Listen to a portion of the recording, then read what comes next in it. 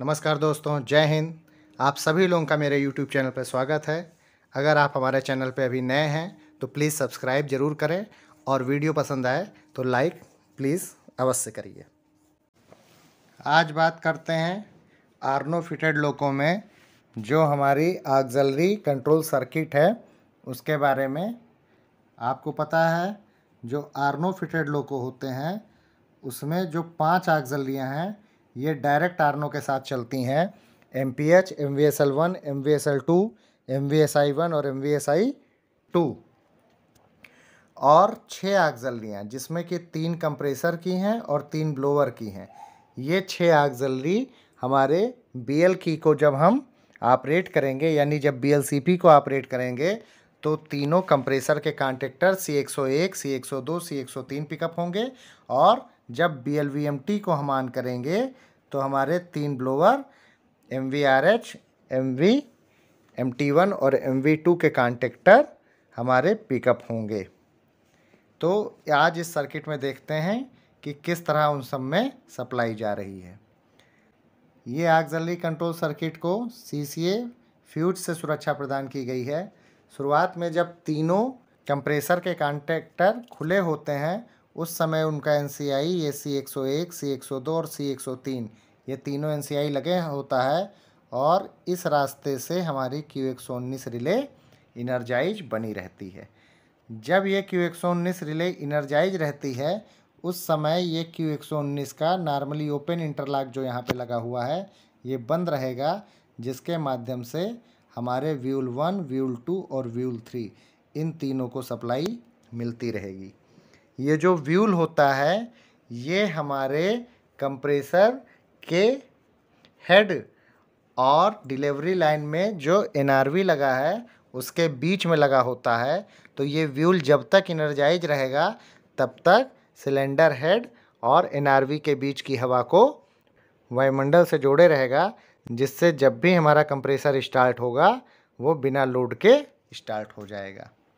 जब हम डीजे लगाएँगे तो डीजे लगने पर ये डीजे का नॉर्मली ओपन इंटरलॉक बंद हुआ सप्लाई इस रास्ते से नीचे आई और सी एक सौ अट्ठारह, चूँकि डीजे लगने के चार सेकंड बाद L C H B A बुझने के बाद हम लोग B L R D J छोड़ते हैं तो लगभग पाँच सेकंड बाद सी एक सौ अट्ठारह कॉन्टेक्टर खुल जाता है, तब ये सी एक सौ अट्ठारह का एन सी आई लगेगा सप्लाई आएगी नीचे और क्यू हंड्रेड के एन सी आई से होता हुआ क्यू हंड्रेड रिले हमारी इनर्जाइज हो जाती है। जब ये क्यू हंड्रेड रिले इनर्जाइज हो जाती है तो अपने रजिस्टेंस आर क्यू थर्टी के माध्यम से इसको करंट मिलने लगता है। और ये क्यू हंड्रेड का नॉर्मली क्लोज इंटरलॉक जो बंद था, इस तरफ़ से ये खुल जाता है। और सप्लाई इसको सीधे डायरेक्ट मिलना स्टार्ट हो जाती है, ऐसे। इस क्यू हंड्रेड रिले इनर्जाइज होते ही, एक तो यहाँ पे क्यू हंड्रेड का देखिए लगा हुआ है नॉर्मली ओपन इंटरलॉक और एक यहाँ पे लगा हुआ है।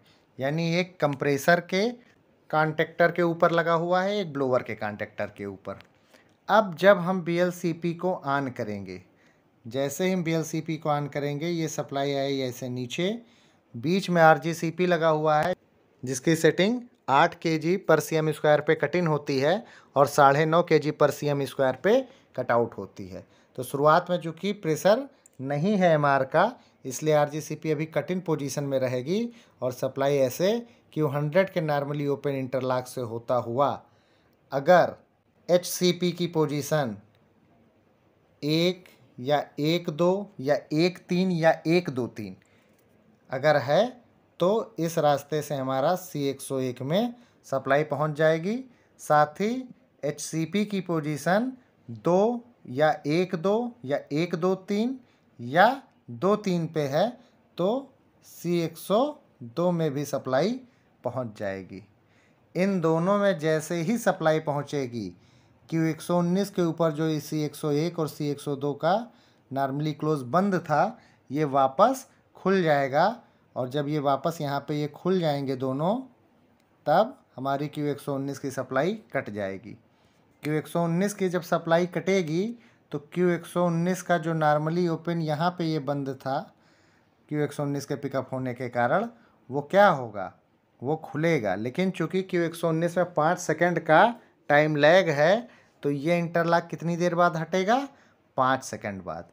यानी व्यूल की सप्लाई जो ये तीनों व्यूल हमारे नीचे दिए हुए हैं, इन व्यूल की सप्लाई हमारी पाँच सेकेंड बाद कटेगी। मतलब कंप्रेसर के स्टार्ट होने के बाद भी कंप्रेसर हमारा पाँच सेकंड बाद लोडिंग करेगा, क्योंकि व्हील द्वारा वो जो हवा भर रहा है कंप्रेसर, वो वायुमंडल में निकलता रहेगा। सी एक सौ तीन के ऊपर देखिए क्यू एक सौ उन्नीस का एन सी आई लगा हुआ है। तो जब पाँच सेकंड बाद क्यू एक सौ उन्नीस डी एनर्जाइज हो जाएगा, तब ये क्यू एक सौ उन्नीस का एन सी आई लगेगा सी एक सौ तीन पर। और अगर स्विच की पोजीशन एच सी पी की तीन, एक तीन, दो तीन या एक दो तीन है तो सी एक सौ तीन में भी सप्लाई पहुंचेगी। इस तरह हमारे तीनों ब्लोवर चल जाएँगे और हमारे ये व्यूल और वी एक सौ उन्नीस वाली ये ये रास्ता हमारा ये बंद हो जाएगा। अब जब एम आर प्रेशर हमारा बढ़ता बढ़ता साढ़े नौ K G per C M square पहुँच जाएगा उस समय हमारा R G C P cutout करेगा और आर जी सी पी यहाँ से रास्ता बंद हो जाएगा और ये कटआउट स्थिति में इधर जाके वीड को सप्लाई दे देगा। वीड क्या होता है? Electrovalve for auto drain. M R one और एम आर टू के ऊपर ऑटो ड्रेन वाल्व लगे हैं।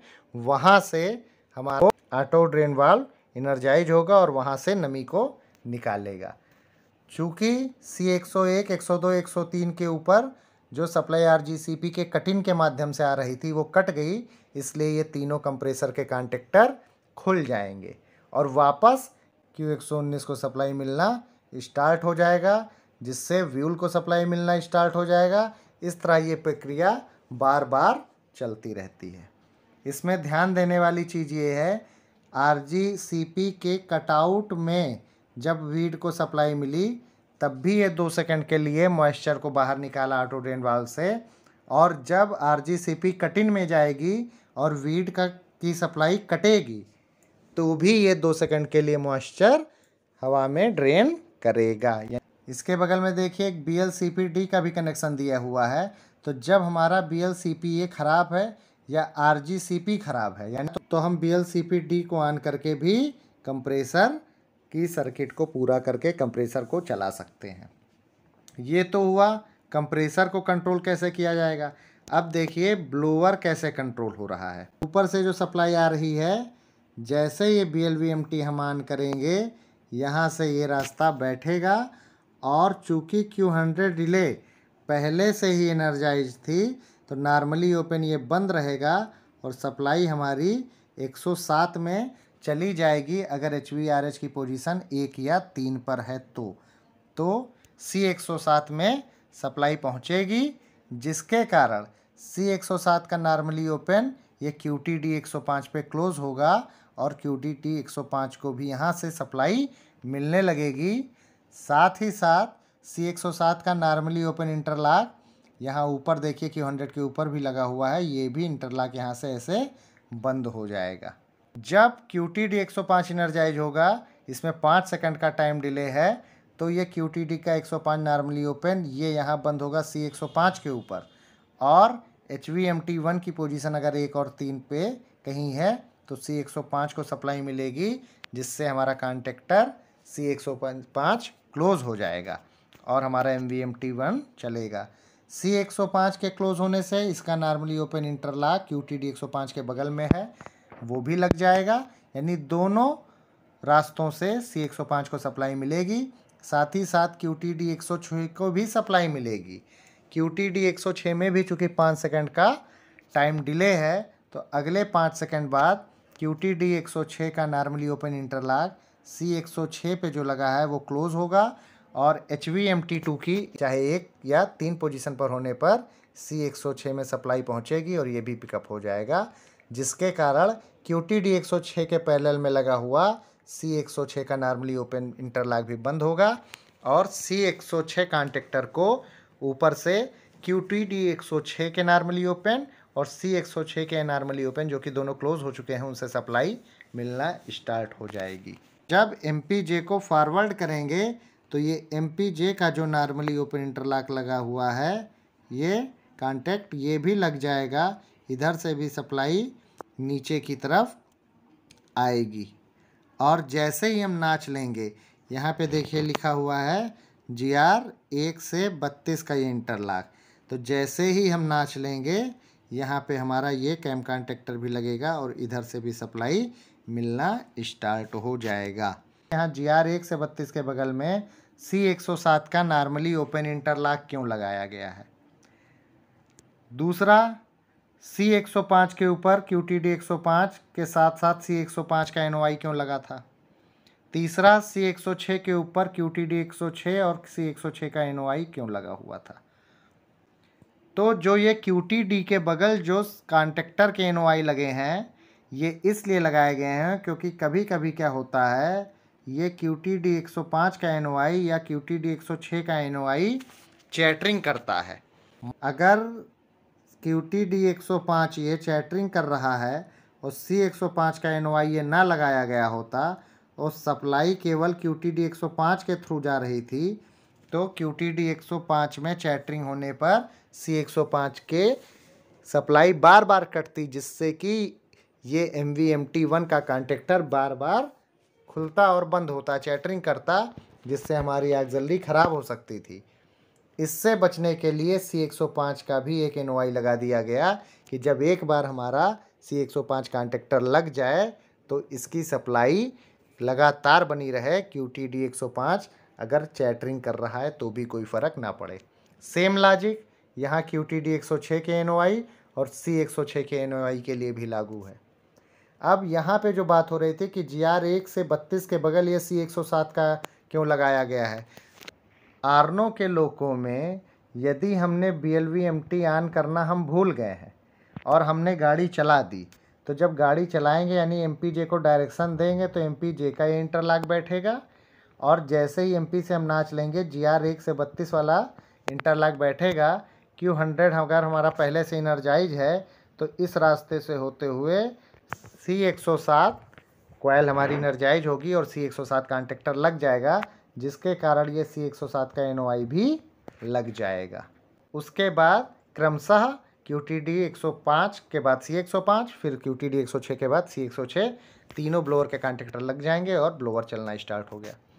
अब अगर मान लिया हम नाच बढ़ा रहे हैं तो ये जी आर का जो कैम कॉन्टेक्टर है, ये एक नाच से दूसरे नाच पे आने पे पॉइंट फोर से पॉइंट फाइव सेकेंड ले लेता है।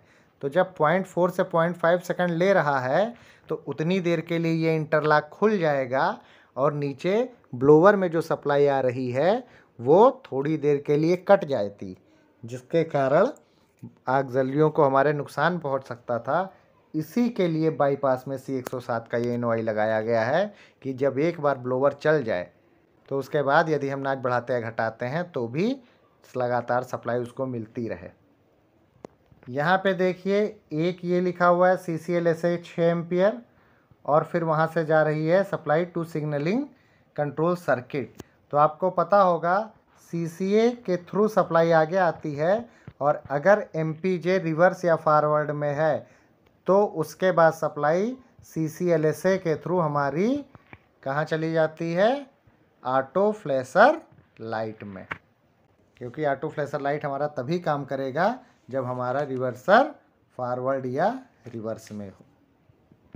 कंप्रेसर में देखिए, यदि हमने एचसीपी की पोजीशन तीन पे रखी है तो जब तीन पे करेंगे तो ना ही सी एक सौ एक के ऊपर एच के तीन नंबर का पोजीशन है, ना सी एक सौ दो के ऊपर तीन नंबर का पोजीशन है। केवल सी एक सौ तीन के ऊपर ही तीन का पोजीशन है और उसके ऊपर भी क्यू एक सौ उन्नीस का नॉर्मली क्लोज इंटरलॉक लगा हुआ है। तो जब 101, 102 हमारी पिकअप नहीं हो पाएँगी तो ये दोनों नॉर्मली क्लोज लगी रहेंगी। और अगर 103 का ये जो तीन नंबर का स्विच है जो कि क्यू एक के पैरेलल में लगाया गया है अगर ये ना लगा होता तो सी 103 भी ना क्लोज होता और सी 103 का भी एन लगा रहता जिससे क्यू एक लगातार इनर्जाइज बनी रहती और ये क्यू एक का एन खुला रहता। तो हमारा सी एक सौ तीन कैसे बंद हो पाता? चूँ जबकि हम एच सी पी को तीन पे करके तीन नंबर वाला कंप्रेसर चलाना चाह रहे हैं। इसलिए क्यू एक सौ उन्नीस के एन सी आई के बगल में ये एच सी पी के स्विच का तीन नंबर का पोजीशन दिया हुआ है। उम्मीद करते हैं दोस्तों, ये सर्किट आप लोगों के समझ में आई होगी। कमेंट बॉक्स में बताइएगा। अगर कोई कन्फ्यूज़न होगा तो दोबारा इस सर्किट को बता दिया जाएगा। Thank you.